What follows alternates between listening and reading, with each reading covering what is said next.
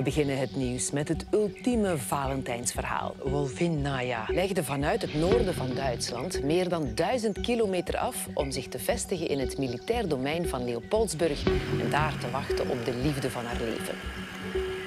Naya is de eerste wolf in Vlaanderen in 100 jaar tijd. Want ook voor de onderzoekers zijn het spannende tijden. We leren bij. Zonder die uh, zender zaten we hier nu niet, dan wisten we van niks. Deze wolf heeft vanuit het noorden van Duitsland in totaal 1238 kilometer afgelegd. Zonder slaap, zonder eten, zonder ouders. Zonder gezien te worden. Als deze wolf iets heeft bewezen, dan is het wel dat ze echt geprobeerd heeft menselijke activiteit te vermijden. Niemand heeft dat dier ooit gezien. En waar zit die wolf nu precies? De exacte locatie houden we geheim. Ze heeft haar territorium gekozen op het militair oefenterrein. Waar in de afgelopen 100 jaar geen mannetjeswolf te bespeuren is geweest. Rustig in het bos. Het is een gebied van 55 vierkante kilometer. En we moeten haar vooral met rust laten. Ze reageren heel erg op menselijke activiteit. Zodra die stilvalt, komt de natuur in beweging.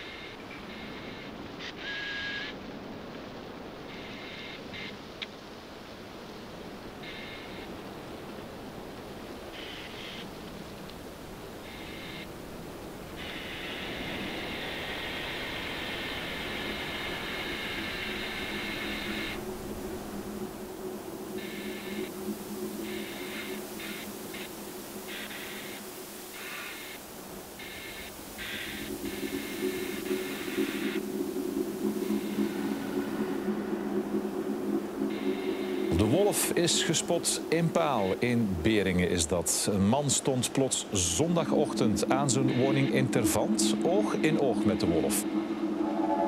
Ja, dat doet toch wel iets. Dan kan ik u zeggen dat uw hart eh, serieus begint te kloppen als je dan weet dat dat meer dan 150 jaar geleden dat er nog een wolf heeft rondgelopen hier in Vlaanderen.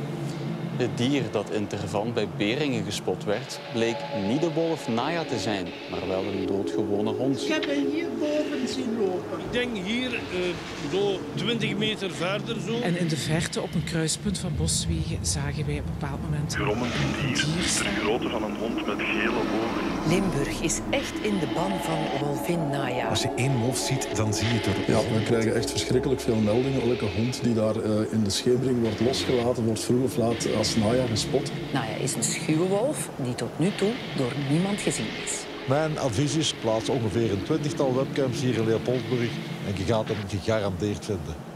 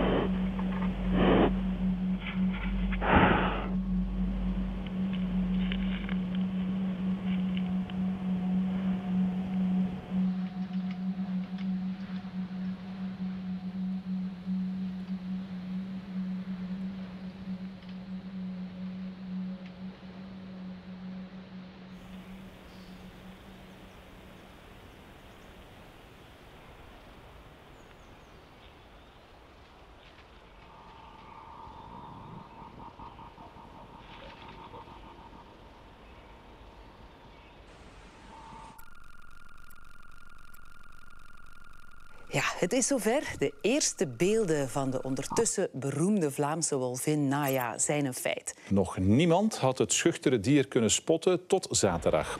Goedemiddag. hallo? Je hebt prachtige beelden kunnen maken van de wolf Naya. Waar precies eigenlijk? Eh, wel, de exacte locatie houden we geheim om de, de rust te garanderen. Gewoon dat er eh, te veel wolfvoettoeristen zouden gaan kijken op die plek. Zondag wordt er een wolvenwandeling georganiseerd in Koersel. Hier is de Naya wel eens gespot geweest, dus we gaan kijken of we ze gaan vinden. Mag eigenlijk wel komen, hè? zo'n mannetjeswolf. Dat zou misschien wel interessant zijn voor ons najaar. Ons Naya, zoals de wolf hier al genoemd wordt in Leopoldsburg. Naya is eigenlijk aan duidelijk maken eh, dat Limburgers gastvrij zijn dan wie dan ook. Is een heel plezant exportproduct voor Limburg eigenlijk.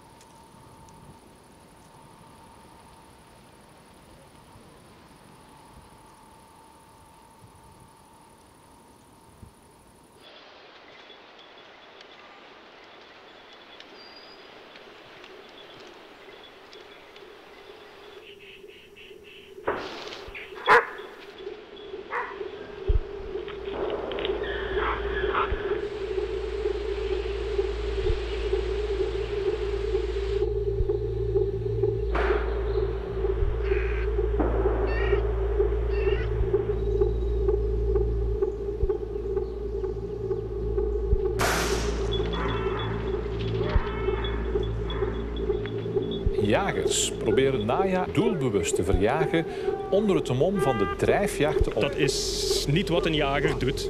Op die militaire domeinen is er jacht en permanent drukte van aan- en afrijdende jagers die met jeeps het gebied inrijdt. En misschien moet men echt eens gaan nadenken dat er nu een toppredator aanwezig is en je kan je afvragen of die jacht daar zelfs nog nodig is. Dat is natuurlijk heel jammer voor de 2000 Limburgse jagers om met zo'n uitspraak geconfronteerd te worden. Zonder enig bewijs, maar toch met heel veel zekerheid. Jagers dreigen Naya, de wolvin die in Limburg rondsluipt, neer te schieten als ze in hun richting komt. Het is ook voor sommigen misschien een trofee en aan die mensen kunnen wij alleen maar het signaal geven. Het bezint eer voor je begint, want het gaat om een wolf met een zender aan. In dat opzicht is de GPS-tracker een extra levensverzekering voor Naya.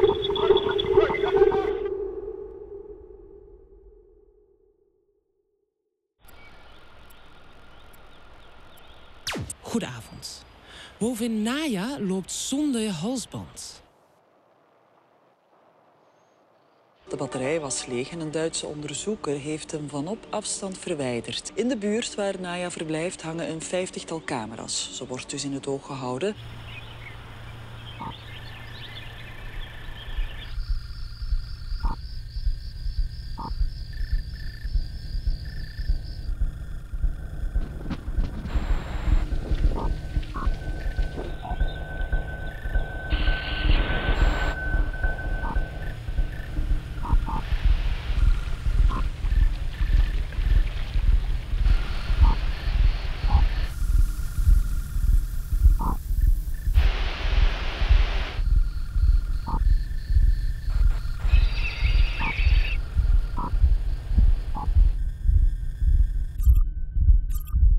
Eerste roedel Limburgse wolven. Die kans bestaat nadat er op het militair domein in Leopoldsburg een tweede wolf gespot is.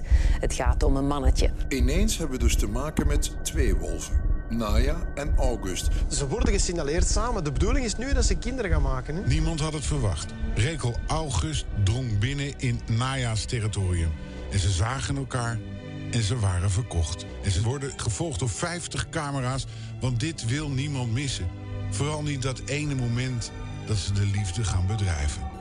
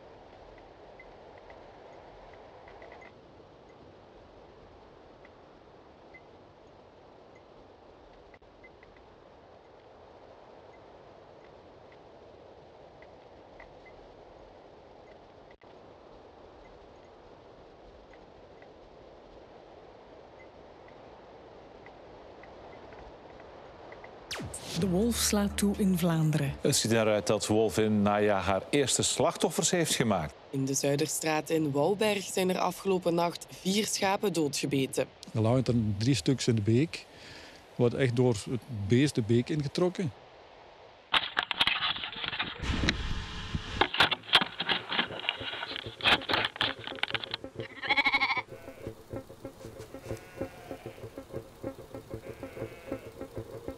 Naya en August hebben vannacht opnieuw toegeslagen. Wij moeten allemaal toezien hoe dat die beesten lijden.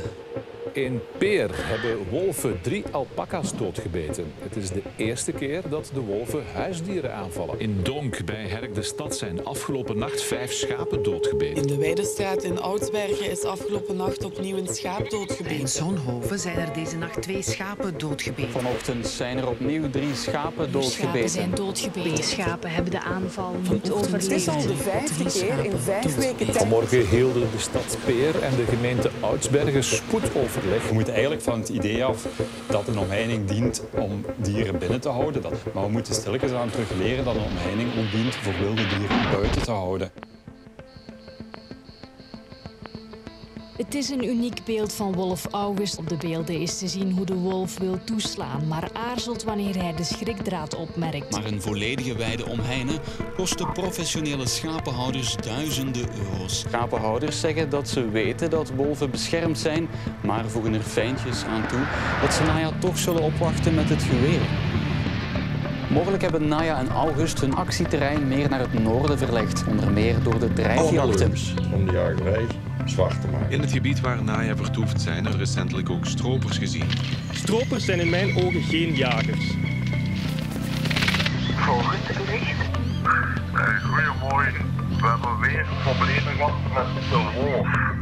We zijn de zaak kort, kort beu. Als de zaak niet opgelost wordt, gaan wij zelf de maatregelen treffen. Dank u.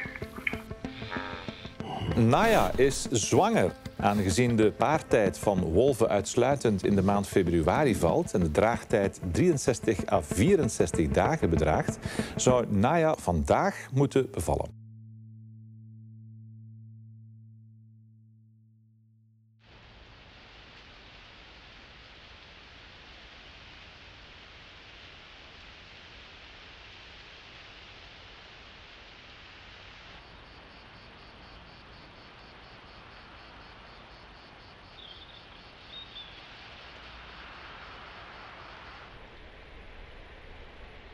Hoe zit het met wolvin Naya en haar welpen? Tot op vandaag is er nog geen enkel spoor van hen, ook al werden er extra camera's gehangen in hun leefgebied. Momenteel ontbreekt elk spoor van haar en haar welpen en dat baart experts zorgen.